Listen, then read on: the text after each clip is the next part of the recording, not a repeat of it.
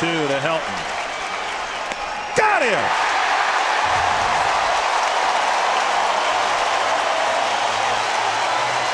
O'Hara stood a little Juan Berenguer after this strikeout.